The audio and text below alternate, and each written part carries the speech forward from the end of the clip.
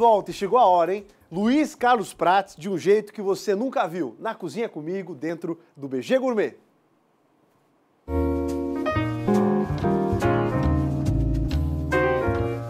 Ah, esse BG Gourmet, ele é mais que especial, porque eu estou recebendo aqui hoje alguém que eu gosto muito, mais do que isso, que admiro, que é referência no jornalismo nacional. Luiz Carlos Prates vai pro fogão comigo. Dá para acreditar? Bem-vindo, Prates. Bem-vindo eu. Te agradeço a recepção. Estamos aí. É hora de BG Gourmet.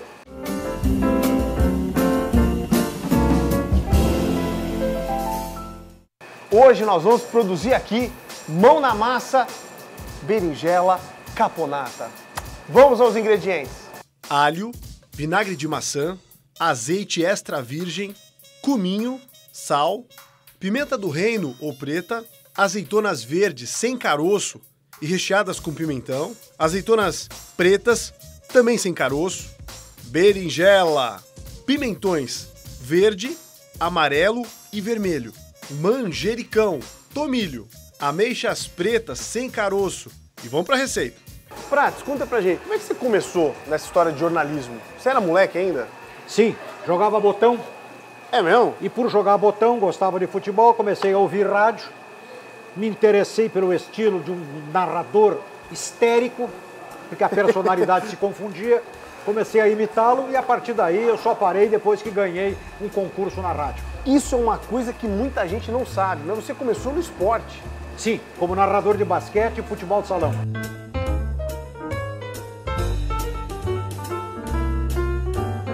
Ah. Hoje nós não vamos tocar no fogão. Interessante. Porque essa receita é todinha de forno. Então a gente pica os legumes aqui direitinho, já prepara, vou ensinar o passo a passo para levar a forma.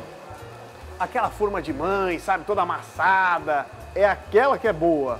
Do, do velho ditado, né? Panela velha que faz comida boa. Ô Prates, vem cá. Sim. Vem cá, chegou sua hora. Uma por uma, vai. Você vai filetar aqui pra mim, vem. Não. Vamos ver, hein? Vamos ver se ele aprendeu. Se ele é bom observador. Aí, ó. Aí, é, quem diria, nunca fiz nada na cozinha.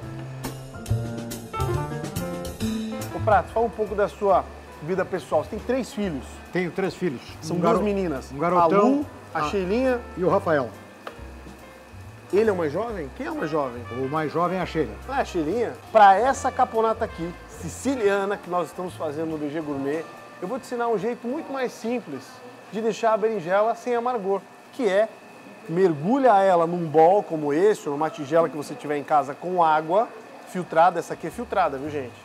E dá um banho com vinagre de maçã. Aqui é pouquinho, né? Colocamos para dar exemplo. vou pegar aqui o tubo, igual a mãe pega mesmo. Aqui, ó generoso. E aí você vem e dá uma esmagada nela assim, ó, com todo carinho. Depois que você deu uma esmagada nela com carinho, você vai deixar ela descansando. Quanto tempo, Polito? O tempo que você levar para cortar os legumes, no caso, os pimentões.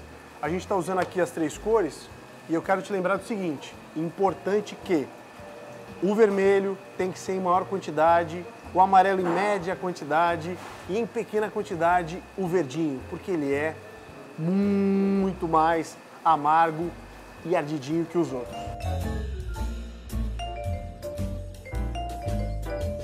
Qual foi a sua melhor ou mais vibrante experiência jornalística?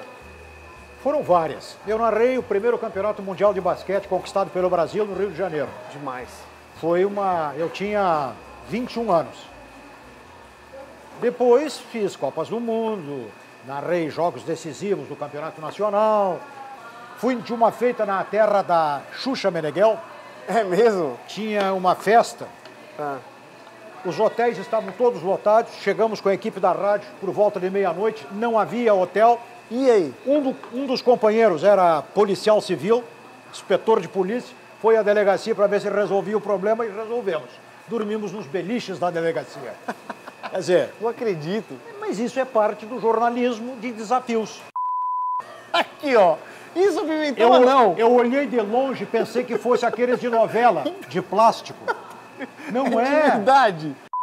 essa parte branquinha aqui, ó, nós não vamos aproveitar. Isso aqui deixa a berinjela amarga. Que você bola o comentário? Você ensaia antes, vem na cabeça, você anota, como é que é? O pessoal tem curiosidade de saber isso aí. Recebo o assunto, este assunto vai ser pesquisado no arquivo da minha memória, dos meus afetos, dos meus valores, e a partir daí, improviso absoluto. Essa história de ficar memorizando vai provocar mais tarde o branco na fala. Como é que é aquela frase? Como é que é aquela frase? Não.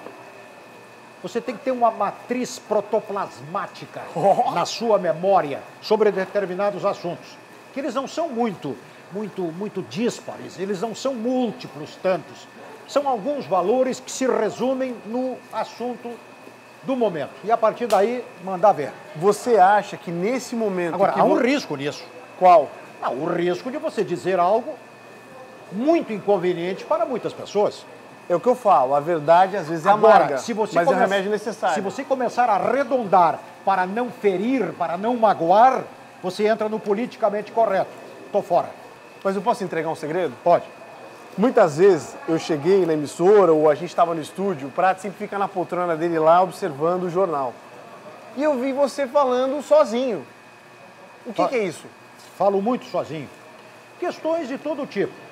Se eu falar em voz alta, eu me ouço melhor. Legal. Eu, eu estou falando com o meu alter ego, com o meu outro eu. O meu outro eu é equilibrado, é objetivo, é politicamente correto. Olha, é um bom sujeito. Mas ele não tem a voz da decisão. Quem tem é o outro, o mal educado. Mal educado no sentido de diga a verdade.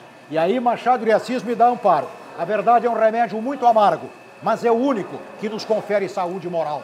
Alguma vez você chegou em casa e levou puxão de orelha? Muitas Pô, vezes. Pô, pai, não fala, não fala aquilo na TV. Muitas vezes, quase que todos os dias. A gente já picou pimentão. A gente não, eu piquei, né? O Prato está aqui, eu vou tipo, tá me enrolando. Eu tô aprendendo. O que, que o Prato fez hoje? Lavou o manjericão. é brincadeira. Ah, mas lavei bem. Três rodelas. Maravilha. Isso. Você, ó, ah, hum. tá, tá, enganando a gente. Você é um impostor, vem dizer que não sabe cozinhar. Ah, meu filho. Impostor. Então, vai ter que picar todas. Ah, todas? Pô. Oh, até amanhã. Tá, vou colocar esse pimentão aqui do lado, pera aí. Muito oh. que bem. Não, todos os pratos. A todos? Como todos. Lembra da nossa água? Sim. Agora é hora de escorrer. A gente tira essa água, coloca a água filtrada de novo e novamente o vinagre. Não esquece, gente. Vinagrinho aqui, generoso, mas guarda que vai precisar usar mais na receita. Mesmo processo.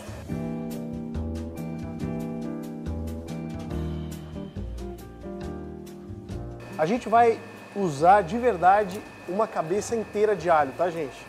Mas a gente não vai picar o alho, o alho vai inteiro porque ele fica muito gostoso depois de assado também. Vamos tirar a água mais uma vez. Mais uma vez. É a última vez agora.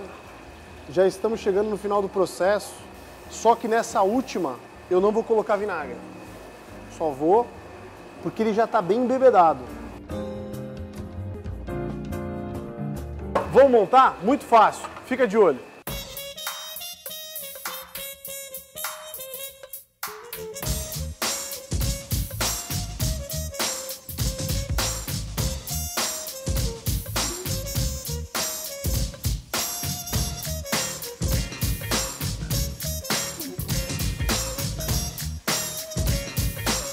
Antes então de encerrar, a brincadeira que eu te falei é o pinga-fogo. Eu digo uma palavra e você fala o que vem à cabeça. Porra, que perigo. Jornalismo. Aventura. Futebol. Guerra. Berinjela. Sabor. Santa Catarina. Melhor estado do Brasil. Comentário. Duro. Filhos. Joias. Saudade. Sem resposta eu recebi com muito carinho esse cara de coração gigante, né? que é um baita ser humano e um grande profissional. Baita, um dos melhores jornalistas do Brasil, que eu tenho a honra de trabalhar todos os dias. Luiz Carlos Prates no BG Gourmet. E vamos comer? Vamos comer. E beleza!